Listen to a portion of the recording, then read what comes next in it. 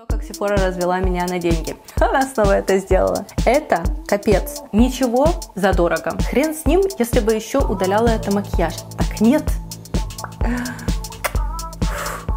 Всем привет! Сегодня предлагаю вместе со мной отвлечься, развлечься и сделать полезное дело, а именно расхламление. Вы просили вернуть рубрику «Пустые баночки», так что я продолжила какое-то время тому назад собирать то, что у меня закончилось, но для того, чтобы немножко разнообразить эту рубрику, мы сделаем несколько другой формат. Я добавила какие-то разочарования. И, возможно, в будущем это будут не просто пустые баночки, а я также буду показывать вам замены. То есть что-то закончилось, вот пришло новое.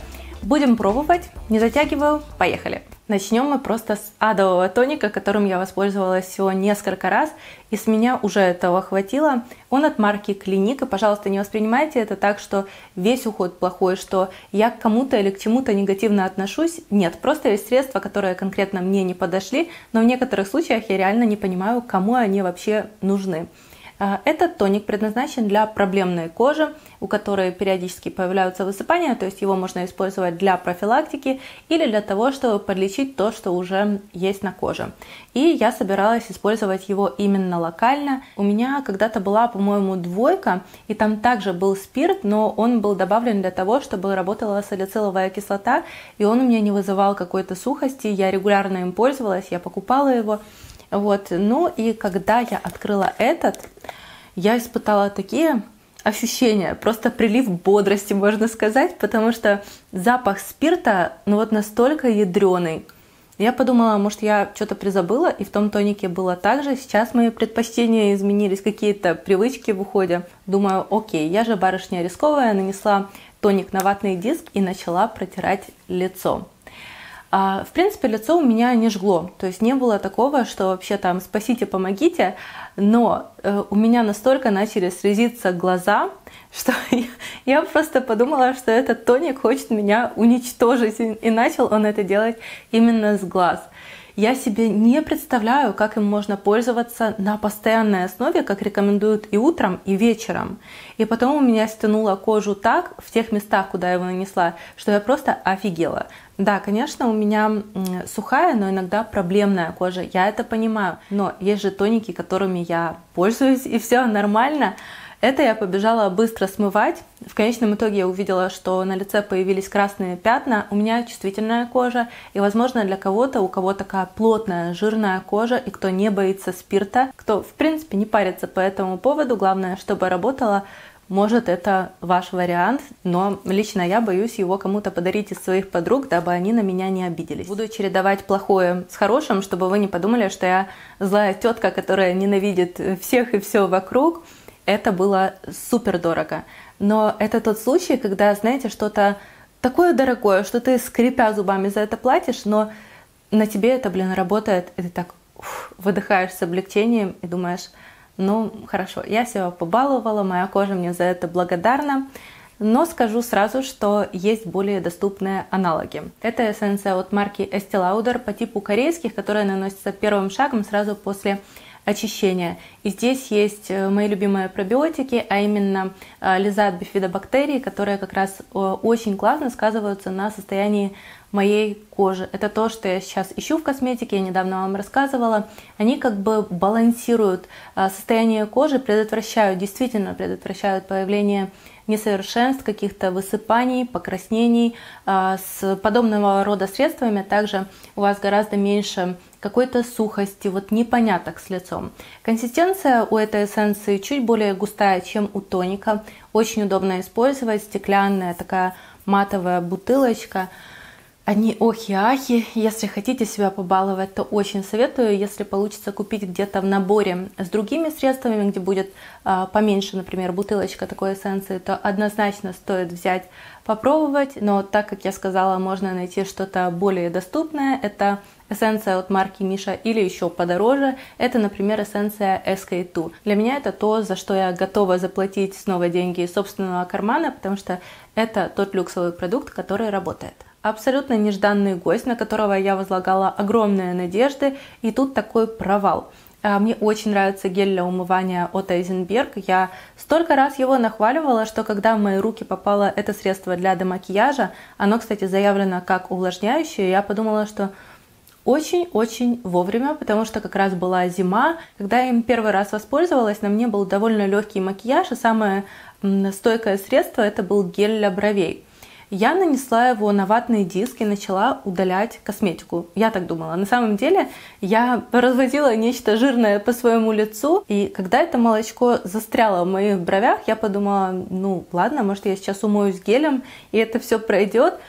Мне так сложно было его отмыть со своего лица, чтобы убрать вот это ощущение пленки, чего-то такого максимально неприятного. Я даже не могу сказать, с чем это можно сравнить. Я, короче, так долго умывалась в тот вечер, чтобы избавиться от вот всего вот этого беспредела, который э, это средство развело на моем лице. И э, потом я подумала, ладно, может я что-то делаю не так. Я пробовала разными способами, я использовала вот, честно, столько. И каждый раз происходило одно и то же. Вот знаете, хрен с ним, если бы еще удаляла это макияж. Так нет, тон как был на моем лице, так он и остался. Тушь это средство также не убирает. Я не знаю, в чем загвоздка. Я не знаю, как такое могло произойти, но я была очень неприятно удивлена. Я говорю нет. Если хотите уж что-то от марки Айзенберг, то возьмите не пенящийся, нежный, обалденный гель для умывания. Убирает косметику, не пересушивает. Вот. Э, что касается чего-то а, более доступного по цене, то у меня закончились два геля для умывания – Опять же, аналог геля от марки Eisenberg, тоже без аромата, это CeraVe, вот пустая банка. И пенящийся для тех, кто любит более очищенную кожу, у кого жирная комбинированная кожа, у меня вот две пустышки. Я точно помню, как я распаковывала красивую пиар-рассылку, как я читала даже на камеру обещание, что через 7 дней можно увидеть классные результаты, что будет очень а, увлажненная кожа, что она даже как-то омолодится. Это сыворотка с планктоном, а, уж точно не помню с каким, от марки Биотерм. Это гиалуроновая сыворотка, которая наносится под крем, то есть ее нужно чем-то закрывать. Она очень приятная, красивенная упаковка. И одно удовольствие пользоваться э, этим средством. Ничего, собственно говоря, через 7 дней не происходит. Я продолжала пользоваться этой сывороткой. Она э, немного увлажняет лицо и э, также имеет тенденцию скатываться с некоторыми кремами, поэтому я наносила ее вечером, давала ей подпитаться и поверх крем, и потом не трогаю уже лицо, ложусь спать, утром смываю. Вот, вот ничего такого, честно, просто увлажняющая сыворотка. Да, неплохо, но не то чтобы очень хорошо. Вот как-то, ну вот как-то так. Очень хорошая вещь локального действия от несовершенств. Она на основе каких-то кислот и цинка. Единственное, что меня раздражает и в подкрашенной версии, и в этой точно так же, это бренд Holy Land, это то, что когда я открываю, вот сейчас просто рискую чистотой в моей комнате. Она снова это сделала. Это капец, потому что все как бы подсохшая на крышечке высыпается. Блин, теперь у меня э, грязные все джинсы. Это при том, что я никуда ее с собой не возила. Она вот так тихо, мирно стоит, но перед использованием ее нужно взболтать. Поэтому потрясешь так, потом открываешь, и это все высыпается на тебя, на раковину. Короче, эта сыворотка вот просто обеззараживает, истребляет все несовершенства вокруг тебя, не только на твоем лице, вот на всякие случаи, знаете, притрусить все вокруг. А так, сама по себе, она очень действенная. Она круто подсушивает прыщи. Даже если что-то назревает, можно наносить на ночь. Она подсыхает и оставляет такое э, белое пятнышко. Меня это никак не смущает. Мой Томик уже не обращает на это внимания. В крайнем случае, только он меня видит. Э, и даже под макияж можно нанести, если вы ну, обязаны накраситься, без этого никак. Наносим, даем подсохнуть и поверх там какой-то легкий тон, чуть-чуть можно корректора. Вот меня немножко раздражает форма выпуска. Я не знаю, что еще можно с этим сделать.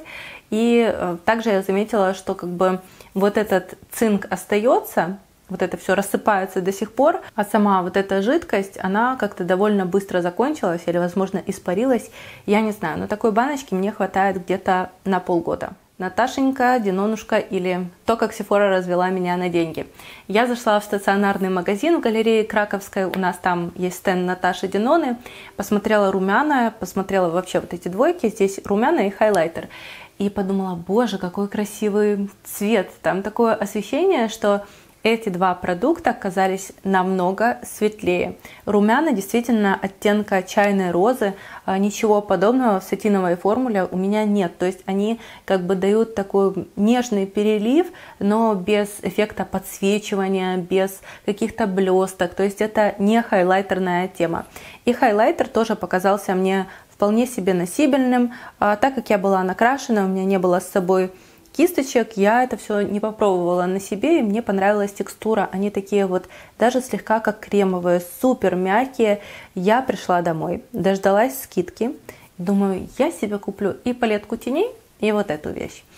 И когда она ко мне приехала, вот прям очень красивая упаковка, такой добротный пластик, а, розовый с белым, выглядит так стильно, очень приятно пользоваться. Но а то, как это наносится на каждый тон и всевозможными кисточками и спонжами. И что я только не пыталась использовать, но это всегда, вот знаете, как очередной слой штукатурки на твоем, блин, лице. Это выглядит так тяжело, это вообще ни капли не освежает. И если оттенок пыльной розы, да, окей, э, возможно, мне нужно немножко подзагореть, но что касается хайлайтера, то он, блин, желтушно какой-то, вот я не, не знаю, просто это нечто, вы знаете, как желтая цветная пудра для лица с эффектом подсвечивания. Я пробовала использовать как пудру. Не але. Это не то же, что, а, например, Armani Neonute. Это выглядит некрасиво. Это, наоборот, подчеркивает даже вот сеточку, которая есть на коже. Я не говорю о том, что там морщины, не морщины, они тоже у меня есть. Но вот даже если нанести на руку, то видно, блин, в нормальном освещении, что подчеркивается текстура. И когда ты наносишь румяна, хайлайтер, а по низам у тебя даже есть уже там какой-то легкий тон или что-то вот тонирующее, типа сиси-крем, это смотрится как слоеный, блин, пирог. Злости моей не хватает, потому что это столько дорогая палетка, даже учитывая скидку, мне просто обидно. А, я не видела обзоров конкретно на эту палетку. Оттенок у меня, я напишу в инфобоксе, мне сейчас даже не хочется искать, но для меня это настоящее разочарование. Я пыталась как-то вот нанести на влажный тон, чтобы это как-то вот, знаете, э, все там поженилось, смешалось, смотрелось одним счастливым целым. Не работает. Еще одна обалденная умывашка, которая закончилась у меня за зиму, это бренд Cosrx. Это такой гибрид и геля и молочка, то есть он не прозрачный, а имеет слегка белый оттенок, но на лице это не ощущается как именно молочко. Это гораздо легче, это без проблем смывается, это также удаляет косметику. Я использовала его утром и вечером, и э, также на очень долго хватает, поэтому если вы ищете что-то, что будет нежно относиться к вашему лицу, то от души советую. Это действительно одна из лучших вещей, которую я попробовала за прошлый год. Ой, эта маска у меня так давно, я ее все использовала и использовала, она все не заканчивалась и не заканчивалась. Это профессиональный бренд Кристина, у нее супер приятная отдушка, у нее супер приятная текстура. И написано, что она подойдет для каждого типа кожи. Это абсолютная правда, заявлена как увлажняющая. Я с этим согласна, она осветляет кожу. Да, здесь, насколько я помню, в составе есть какая-то глинка, но она не застывает, то есть она остается в кремовой форме все вот эти 15-20 минут, которые вы держите ее на лице. И при этом всем она выравнивает оттенок кожи. Вот такой свежачок после нее, что если вы когда-то хотели попробовать что-то из того, что используют в косметологических каких-то кабинетах, то советую попробовать вот эту масочку. Особенно в межсезонье, когда еще не жарко, но уже и не супер холодно, и кожа капризничает, там шелушится, вот что-то такое с ней. Летом, после загара, а, когда хочется, вот знаете, немножко и обновить кожу, и подвосстановить, наверное, так. И после лета также замечательно будет, например, на холодное время года. А, я ее очень сильно любила. Кристина, повторюсь. Наверное, не стану подробно останавливаться на сыворотке от марки Revolution, потому что я а, много раз о ней рассказывала, она была в фаворитах года. Это у меня сыворотка с 5% молочной кислоты и гиалуронкой. Отменная бюджетная вещь, то, что я попробовала от этого бренда, и мне понравилось, и я готова советовать вам, причем также для любого типа кожи. Так, а это у нас, не знаю, сыворотка, крем из категории «Ничего задорого». То есть дорогое средство, которое абсолютно ничего не делает на нашем лице. Это марка Holy Land. Я периодически беру что-то на пробу, и линейка называется Calm Derm. А, причем это средство заявлено как успокаивающий бальзам, который устраняет красноту, он должен очень хорошо успокаивать кожу. И э, говорят, что его нужно использовать какое-то время, чтобы заметить результат. Также он должен укреплять сосуды. И я вот прям религиозно им пользовалась. И вот сколько бы я ее на себя не мазала, ничего не происходило. Блин, даже краснота не проходила. И это обидно на самом деле. Вот когда я выхожу из душа, лицо у меня красное и декольте. И чаще всего, когда я наношу что-то с центеллой, например, а, или с пробиотиками, буквально через несколько минут кожа восстанавливается и все нормально. Тут же хоть маш, хоть не маш. Поэтому я говорю нет. Не поверите, сыворотка для роста ресниц. Но спокойно, я никого не обманывала, я ею воспользовалась всего несколько раз. Зачем, спросите вы? А потому что иногда, не иногда, а каждый месяц реснички обновляются. И бывают вот так, что они выпадают в одном месте вот целым пучком буквально. И тогда образуется пробел, который очень сложно нормально накрасить. И смотрится это так, вы знаете, как будто тебе кто-то выдер часть ресниц. И вот тогда хочется, ну скорее уже, блин, отрастайте. Знаете, кто-то отращивает волосы, а я ненавижу, когда у меня маленькие вот эти короткие ресницы, а я отращиваю ресницы. А, но это все шутки на самом деле. Мне было очень интересно, я думаю, раз тут такая ситуация, такой момент, а пусть я вот по-быстрому помогу отрастить часть ресничек. И я максималист в этом плане, я начала наносить э, как подводку. Это марка Eveline. А, я не знаю, это их новинка или когда она там у них появилась. Я наносила по всему росту ресниц. Утром я проснулась, думаю, почему у меня такие красные веки, почему у меня такие красные глаза. А, я достала глазные капли, ну, короче, вы знаете, как оно, да. Э, сейчас я сама все порешаю. Пользовалась каплями, все прошло. Я ненасытная женщина, намазала еще раз. И я поняла, что, блин, нет, эта сыворотка делает мои глаза красными, воспаленными, я не могу потом после нее краситься, и лично я больше не стану ею пользоваться. Очень классный, питательный, восстанавливающий крем от марки Веледа. И вы мне писали, что он также вас спасает от сухости рук, от частого мытья. У многих из нас пересыхают руки. Я бы с удовольствием повторила этот крем, но он, к сожалению, сейчас во многих местах, откуда я заказываю косметику, распродан. А если вы ищете что-то для рук, для тела от сухости, а, защитный восстанавливающий крем с супер составом, вот эта линейка Skin Food от марки Велена, это Велена, от марки Веледа, это нечто. И на следующую зиму я обязательно себе его возьму, потому что я его вымазала на свое лицо в качестве такого а, очень восстанавливающего, очень питательного компресса буквально на ночь. Что бы я ни использовала, какую бы я сыворотку ни наносила под этот крем, всегда все заканчивалось тихо, мирно, спокойно и благоприятно для моего лица. Также замечательный увлажняющий крем от марки Lumine. Я бы даже сказала, что это увлажнение с намеком на питание. А, вот прям он очень-очень классный на любое время года и даже зимой а, суперски увлажнял область под глазами, не вызывал эффекта заплаканных глаз, он не такой, как некоторые жирные кремы, которые наносишь, и они потом аж заплывают тебе каким-то образом в глаза. Нет, здесь очень приятная такая более плотненькая консистенция, которая тает а, под теплом пальцев. Я прям очень люблю, и у меня также есть пробники каких-то других уходовых средств из этой линейки. Я обязательно попробую, но, наверное, тогда, когда немножко похолодает. А вот крем под глаза Э, я бы советовала брать, в принципе, неважно в какой сезон, потому что он всегда хорошо справится с увлажнением, восстановлением кожи под глазами. Я прям была им очень довольна и расход минимальный. Очень хотела попробовать тушь от марки Eisenberg И я просила, чтобы это была тушь именно э, с силиконовой щеточкой. У них там есть две э, в их декоративной линейке. И когда я открыла эту тушь, я подумала, что вау, какая классная кремовая такая влажная формула. Все, как я люблю. Но потом я поняла, вот интересно, вам видно? Сейчас сделаю, чтобы таки было видно. Это, кстати, еще не самый худший вариант. А, короче, смотрите, сколько туши на этой кисточке. Она прям вот вся облеплена, как в последний раз в жизни. Вы скажете, что, Оля, это все можно снять, но как бы, блин, ты теряешь продукт, это раз. Во-вторых, сама щеточка недостаточно разделяет ресницы. Да, они объемные, но объемные настолько, что вот туши налипают. Вот я очень люблю накрасить ресницы так, знаете, от души. Но тут налипает столько, и ресницы слипаются, и вот этот объем сходится к двум-трем ресницам вообще на глазах.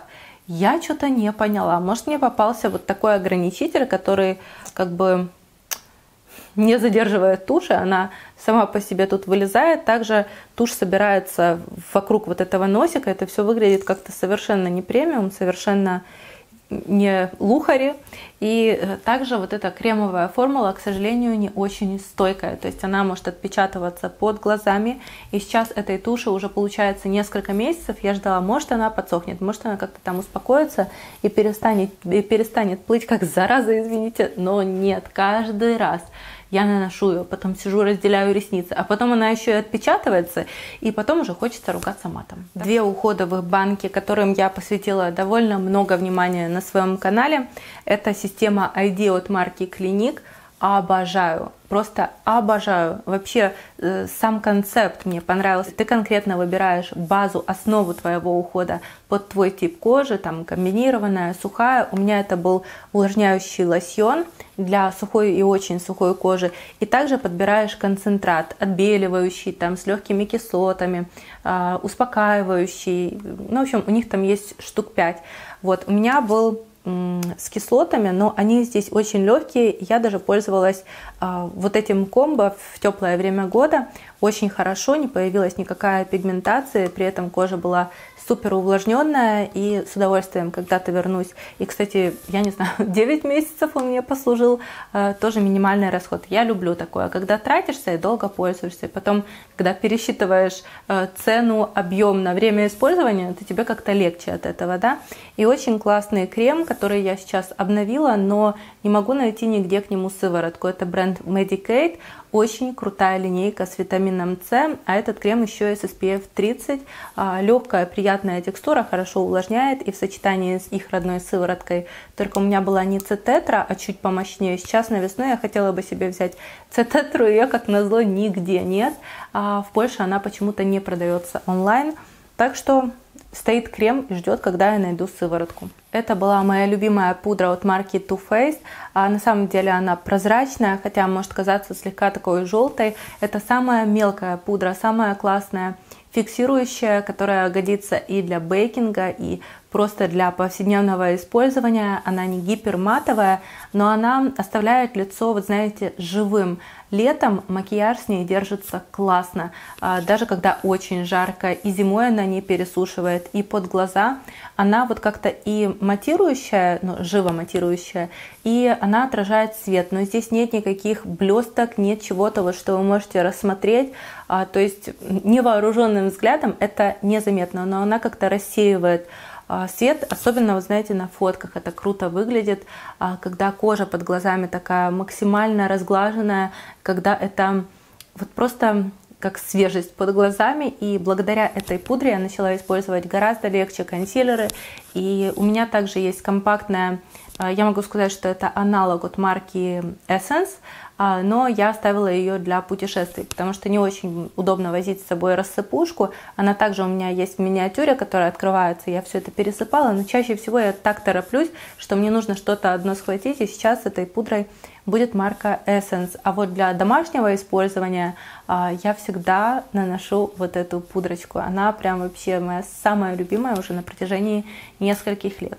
Но прежде чем я, вот знаете, поджала хвост и вернулась к ней и сказала, да, ты лучшая, я попробовала несколько.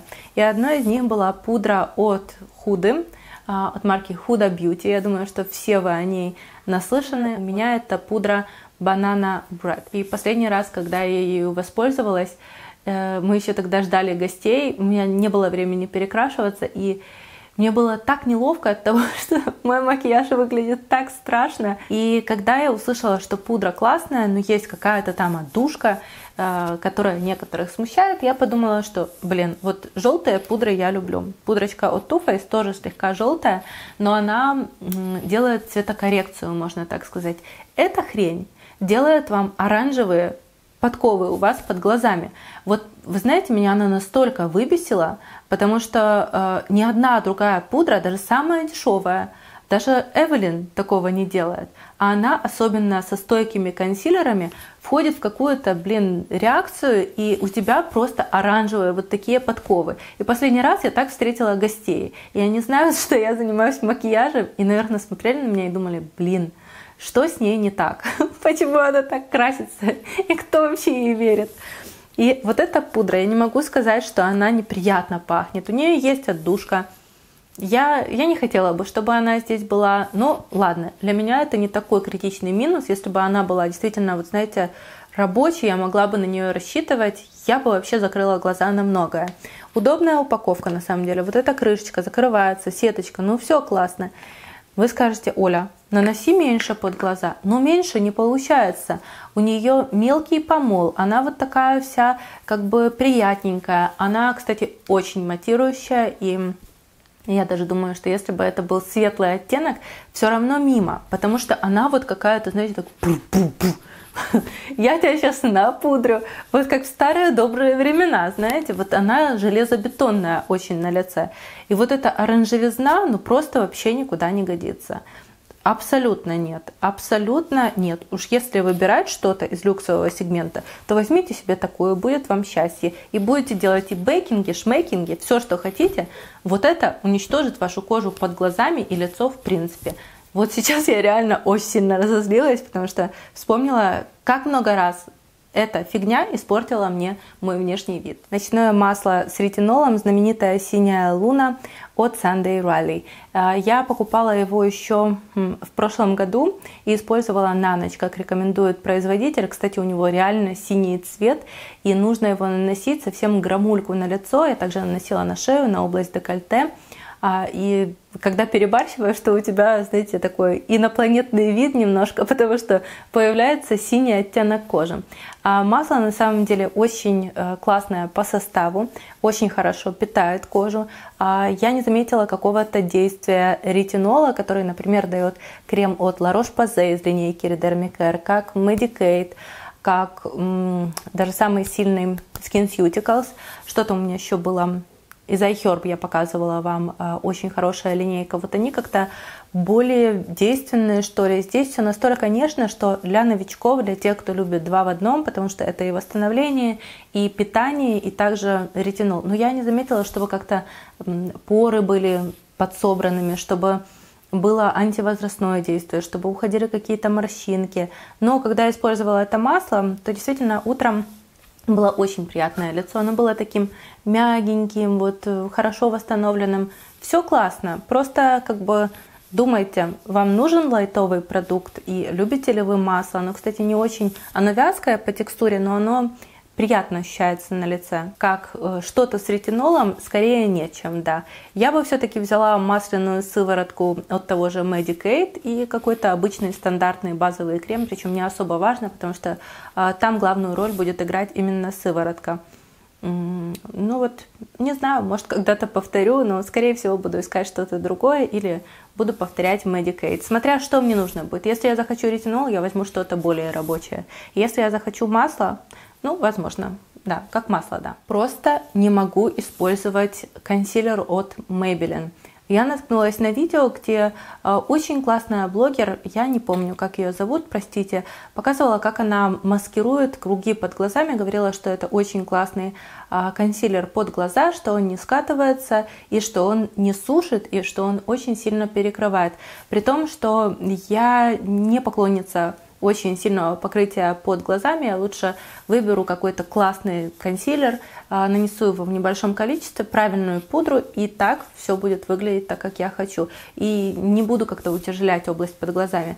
Этот же консилер даже если сравнивать с тем, что есть у меня, я говорю о э, Too Faced, вот этом таком большом консилере, я сейчас говорю о Tarte Shape Tape. Это не полное покрытие, поверьте мне на слово. Это среднее покрытие, такое же, как у марки Eveline. А здесь в случае Maybelline ограниченная цветовая палитра – я не могу сказать, что он прям супер сушащий. Я пробовала использовать его несколько дней подряд, и это просто некомфортное ощущение в течение дня.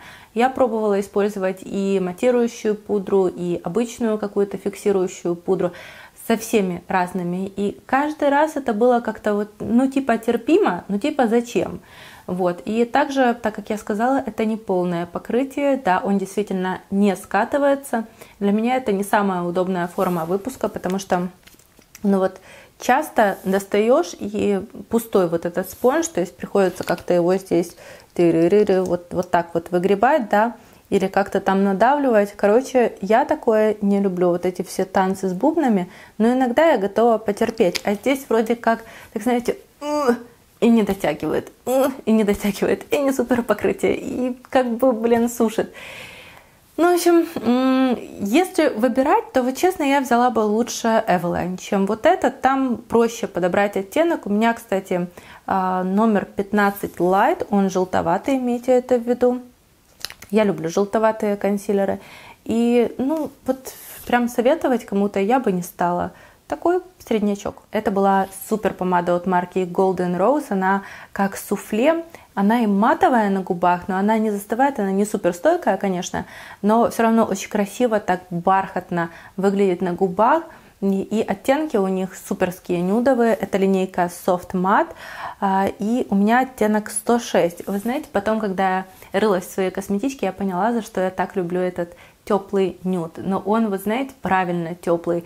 А, это как MAC Velvet Terry. Я наносила их вместе, я по очереди их носила на губах, и потом до меня дошло, что, блин, они настолько похожи, что вот прям практически не отличишь. Это довольно темный нюд, но он не такой, вы знаете, ядрено-рыжий. В нем есть какая-то краснинка небольшая, и благодаря этому он очень интересно смотрится на губах. Вот сейчас я постараюсь достать. Я не помню, есть ли у меня фотография, но вот удалось мне тут что-то наскрести.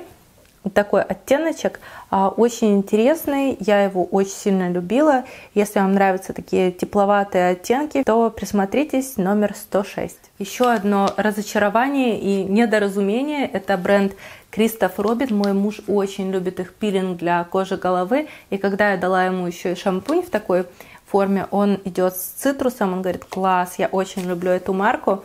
Потом раз воспользовался и говорит, ты хотела меня убить? В смысле? Он говорит, когда он намылил э, волосы, начал это смывать, жгло кожу лица невыносимо. А когда это попало в глаза, он говорит, я уже начал тебя ненавидеть.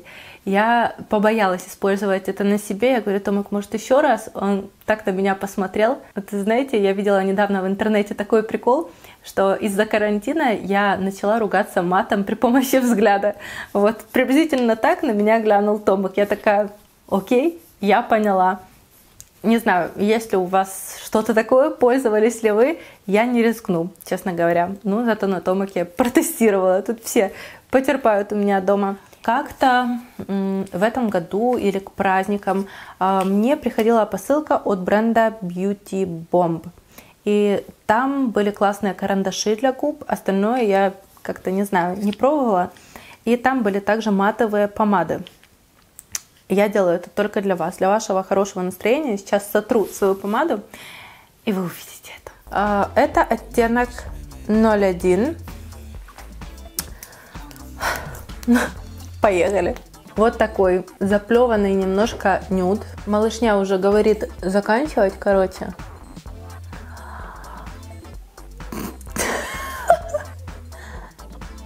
Вы такой... Видели? С вас палец вверх, если вы сейчас начали смеяться. Это ужасно.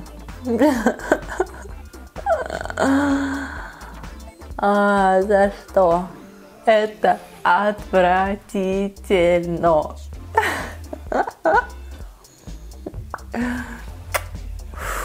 Продолжаем. Оттенок 06 розовый. Кстати, он уже не такой вот, видите, обсвеченный. Oh yeah.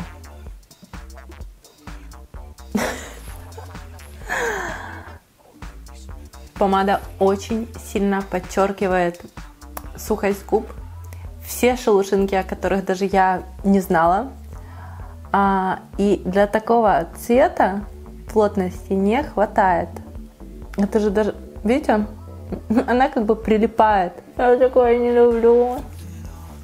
И последний оттенок только ради вас 07.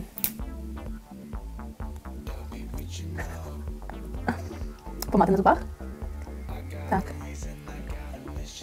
Она перепечатывается, как бы остаются проплешины. Наверное, если ее так посушить и не смыкать губы, то будет норм. А я не хочу ждать. Я хочу как можно скорее от нее избавиться, кстати. По-моему, в камере она еще ничего. Но в жизни можно какую-то вечеринку. А, может, в качестве подложки под какие-то тени.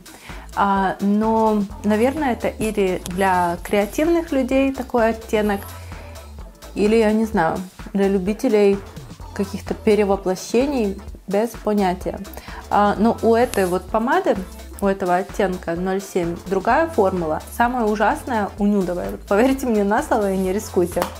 А, я надеюсь, что вам сегодня со мной было интересно. А, всех прошу не обижаться, я высказала только свое мнение и поделилась своим опытом использования чего-либо. У меня сейчас так сильно стягивают губы, что я сижу и просто обалдеваю. А, Все, всех целую, обнимаю. Пока-пока. До новых встреч совсем скоро.